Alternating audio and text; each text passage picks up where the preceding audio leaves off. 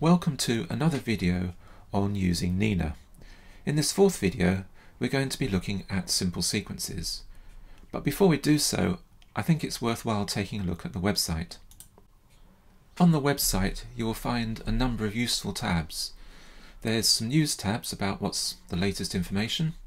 There's the download tab that gives you access to the full release and the beta releases.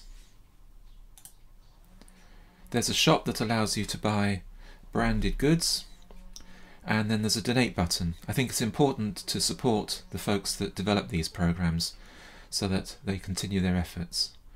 There's excellent documentation both for the full and the nightly versions, which keeps up to date with all the changes. There's the forum, which uses Discord. And because this is open source, you can get access to the source here, and you can also see there's an issue tracker so that you can find out if an issue has been logged, who's working on it and when it's likely to be fixed. I find that the developers respond very quickly to any reports of issues and they get fixed very quickly. Let's shut this down for a second and let's look at Nina itself. So where we last left off, we had set up our equipment and turned it on as shown by these little power icons next to each of the icons here. And in our framing tab, we had a picture of M31 which was pulled in from a Deep Sky catalogue and we had a frame drawn over the top of it. Now sometimes to visualize what the image will look like it doesn't really help to have the frame rotating around the object and what you can do is you can flip it so hit this button up here and the sky background now rotates around a standard frame and I think this makes it easier to visualize the precise framing. So I'm going to leave it there.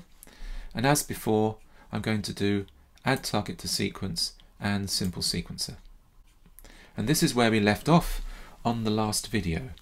And I want to take you through this screen.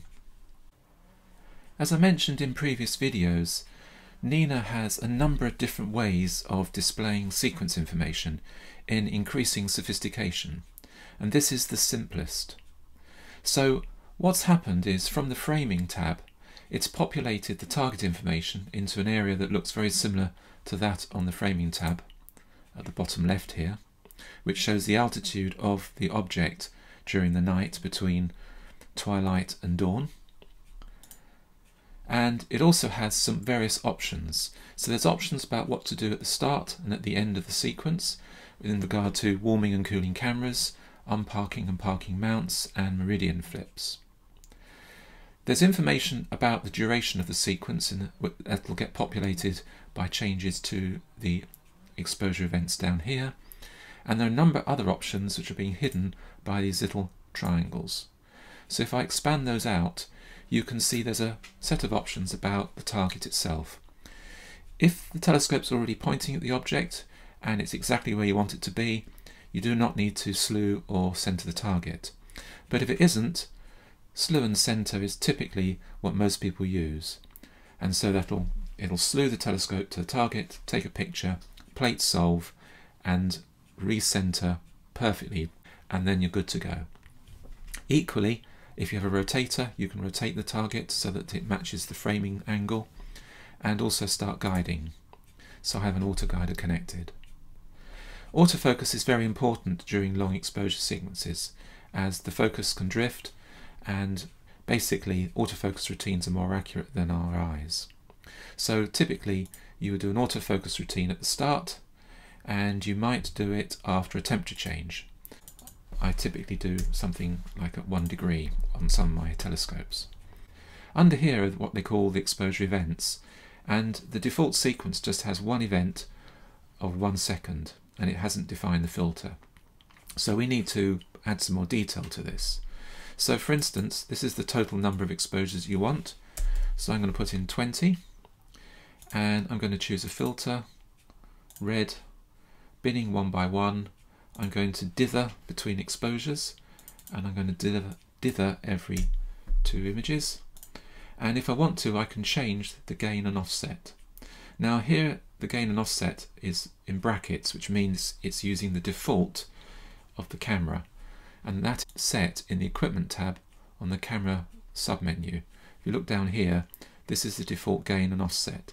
So for instance, I can alter that, say, and if I went back to the sequencer tab, it now shows the new defaults. Once I've got one event set down, I can quickly duplicate it with this plus button and just simply change the filter.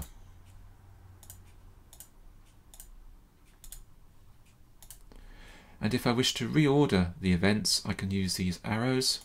So I can move up or down. I can also disable that event if I don't want it that night, and so forth. And I can also save the event. So I can save the entire sequence, I should say not event, and go into sequences and overwrite it.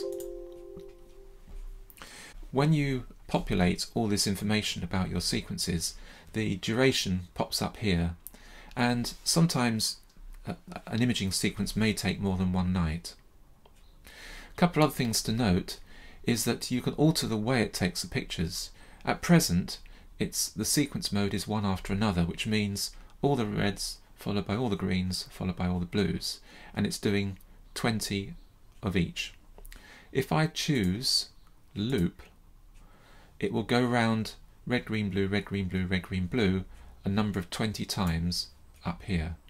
And as they run through the sequence, the progression will increase. And if I save the sequence, it'll store the progression. This is only doing one target.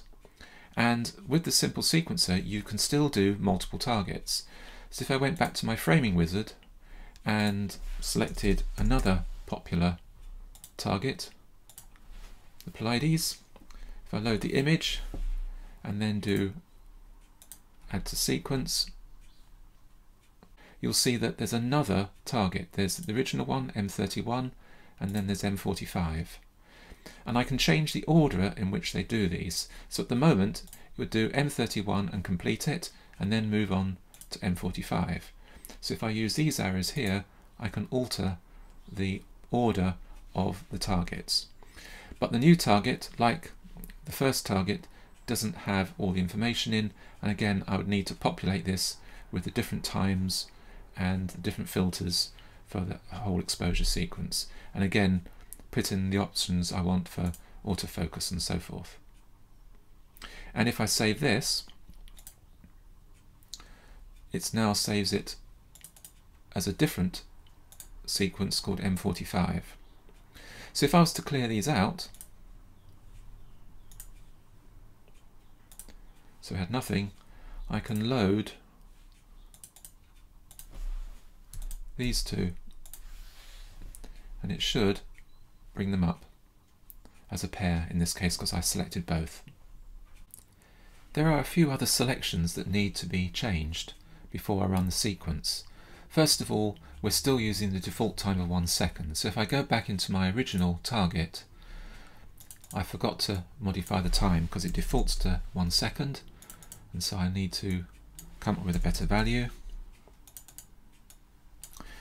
and 120 seconds is what I typically use at low gain to record star color. I also flipped over one of the autofocus settings. Although I have an autofocus event at the start, I'm not changing the focus position when I change the filter. So there's two ways of doing this. If I click this button, Every time the filter changes, it'll redo the autofocus, which is one approach. The other approach is to have filter offsets. And these are set in the Options Autofocus tab.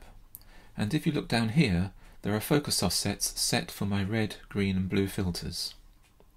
And to make them happen, I need to enable offsets at the top here.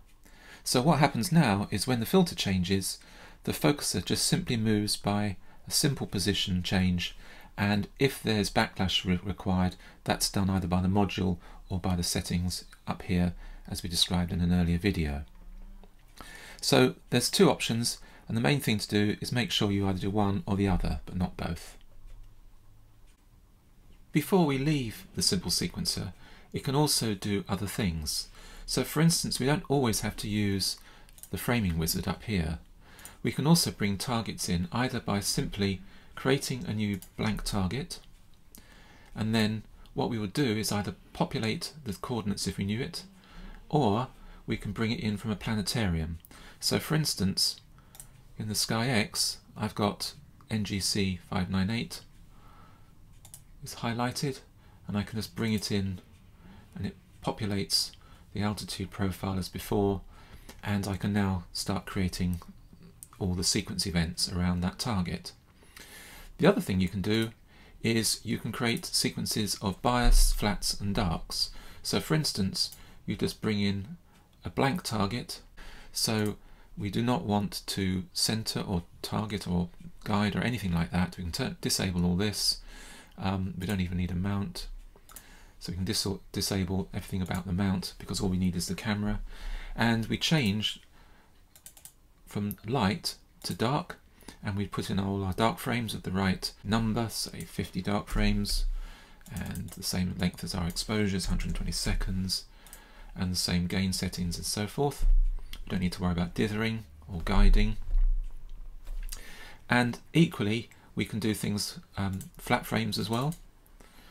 Obviously with flat frames we need to set a filter value and we can also do bias frames. Now note that if we hit bias and change it to bias, it still says 120 seconds. So on the safe side, change this to zero. So there's no chance of it doing something strange. And finally, just a couple little things. You can also save a bunch of sequences all in one go by using this button. So it saves all the targets as a set, so you can pull in a set very easily. Say for instance, if you were taking a bunch of images of different galaxies looking for supernovas. And to run the sequence, you hit the run button at the bottom here. I'm doing this video in daylight, so I can't run the sequence, but we will look at that in terms of how sequences run and what you can do to interrupt them, pause them and so forth in a later video. Thanks for watching.